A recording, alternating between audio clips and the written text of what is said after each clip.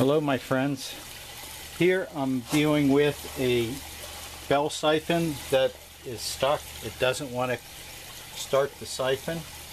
And I played a couple days with it.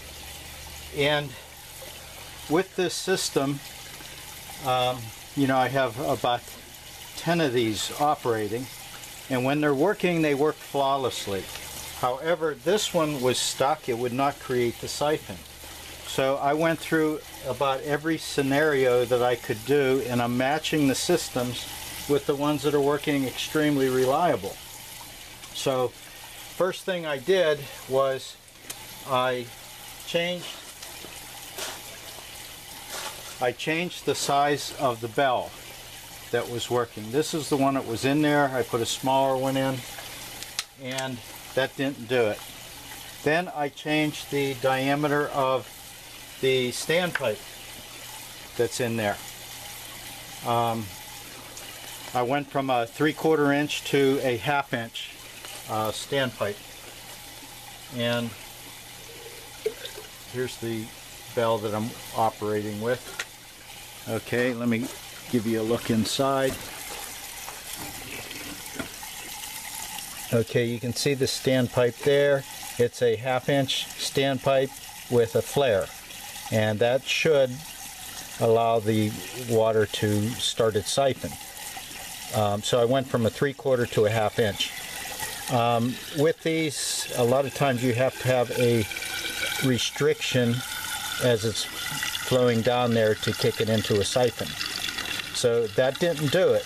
And then my uh, next option was to try a coil in the pipe, just a piece of metal that goes down the standpipe. This will cause a restriction to help it break its or create its siphon. That didn't work. Um, then my next option was to change the uh, drain, the trap on the drain. See, I'm using a three quarter inch pipe here, and I went to a half inch pipe. Now, the way this one works is it holds some water in here when it's not uh, draining, when it's at the fill stage. And what this has to do is have some air pressure to push in here. This is why we're using a brick as a weight for the standpipe.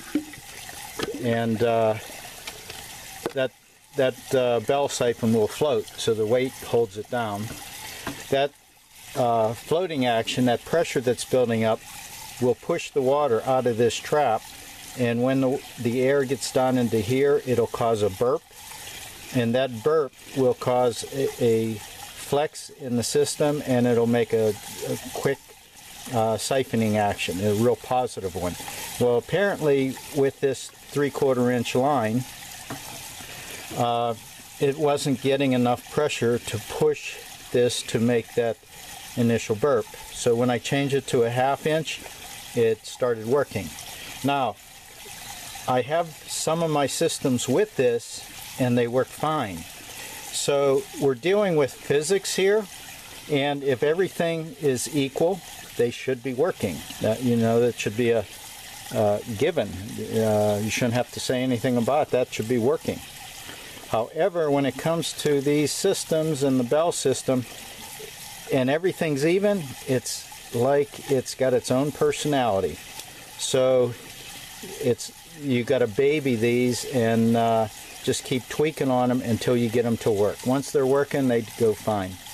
This is where we're at now. This this system is cycling. It's not flooding. What was happening is this one was flooding, uh, and it wouldn't, wouldn't uh, build the height up high enough to push that pressure out.